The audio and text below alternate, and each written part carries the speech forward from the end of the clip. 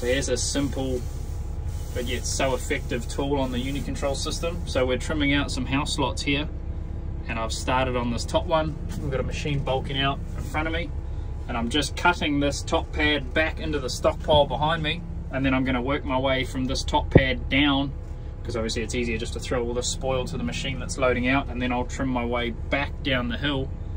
But for anyone who runs machines, you'll know that when you're cutting out pads that have got terraces between them, the easiest thing to do is to over trim the top pad past where it's going to step and then you cut the next one below it and you take the material down with you so you get a nice hard clean level line between the lots.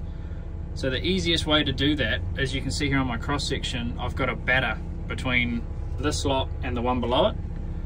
So what you do you've got this button here second one down on the right. It's a hold slope tool. So what you want to do is make sure you've got your bucket selected underneath where you want that surface to hold the slope on so if I for example hold slope underneath the batter on the lower side and it holds slope, it's going to drop down to that lower pad level to hold that slope, but that's not what I want to do. So I come across, select the right hand side, hit hold slope, and now I can overcut the pad all the way across. So then when I go down the hill to cut out the pads, I overcut, hold slope on the edge, so you're not trying to guess. So then it doesn't lip up as you come across. So when you come down, and cut the lines in across for the edge of your house lots you've got a nice clean, level, sharp batter between all the lots.